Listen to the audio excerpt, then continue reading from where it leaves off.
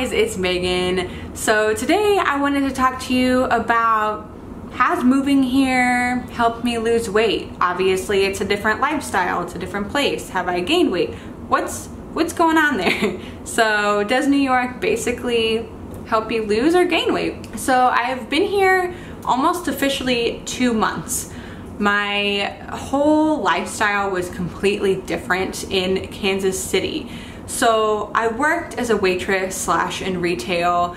Honestly, most of my day was standing. I did a lot of running around, walking during the lunch shift when I was a waitress, but a lot of my day was standing for eight to nine hours a day. It really sucked and it really wasn't great on my knees, my body, didn't do a lot of good for me, unfortunately. So I had that job, I had the standing job, which was one of the reasons it was hard for me to give it up because I didn't want to be sedentary and it's hard for me to motivate myself to exercise, which I need to get better at doing. So I was on my feet for eight to nine hours. I would drive to work, so that was sitting. I would drive home. I would either be sitting on the couch or sitting out eating with friends or something, which was the other half of my day. So, you know, I wasn't sedentary. I was very active person, just like I am here I'm just a very active person in general. And then what I would eat there, I would eat healthy in the morning. I would eat yogurt or oatmeal or something like that, have my coffee, of course.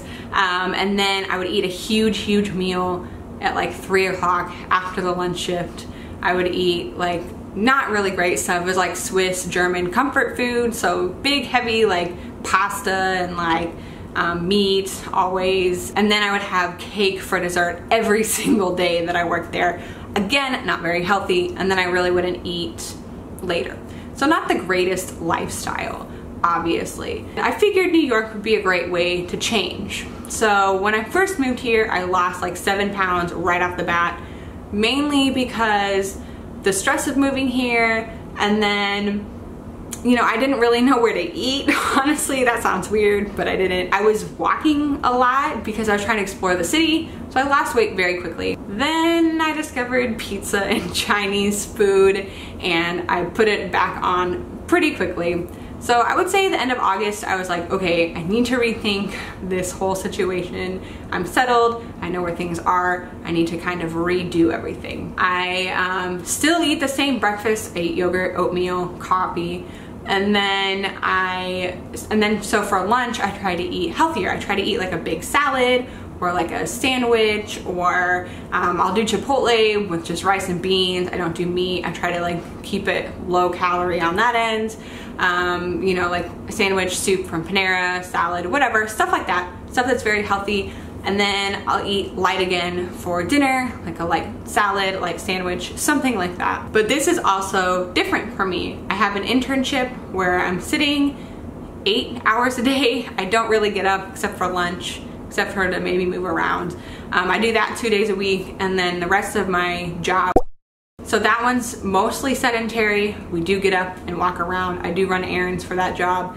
So it's a little more active, but it's still mostly sedentary. But the factor that changed is my commute. I walk, I stand on the subway, I go up and down stairs constantly. So it's a completely different kind of experience because I'm walking so much more. It's very easy for me to get five to 10,000 steps a day just commuting. Walking up and down the stairs has helped build my muscle. It's helped me, I feel stronger, I feel like, you know, more in shape definitely. And since I've been eating healthier, I've actually dropped four pounds again. So I'm back into my range of where I want to be. So I am five pounds down from what I was averaging in Kansas City. So yes, New York has gotten me in shape, mainly from me walking everywhere and going up and down the stairs, but I did have to control my diet. Now I can eat more food because I'm walking, commuting, hustling, stuff like that.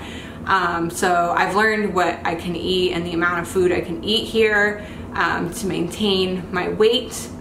I was at an unhealthier weight for me personally in Kansas City, working as a waitress, eating sweets every day, which I'm glad I don't really do that anymore. I don't really eat sweets maybe like once a week. So I'm glad I kicked that habit. Uh, it helps definitely not working in a bakery and being around that food constantly, around sweets, all of that. Yeah, it's been really great moving here. I'll keep you updated on what keeps happening, but I do think New York can really whip you into shape and can help you lose weight.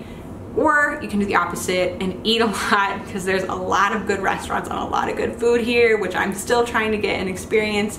And I don't deny myself that. On the weekends, I let myself go crazy and have a couple cheat meals because why not? It's really good and you know, I eat healthy most of the week, so it's fine. So yeah, I hope you enjoyed this video. Don't forget to like, comment, and subscribe, and I will talk to you guys tomorrow. Bye.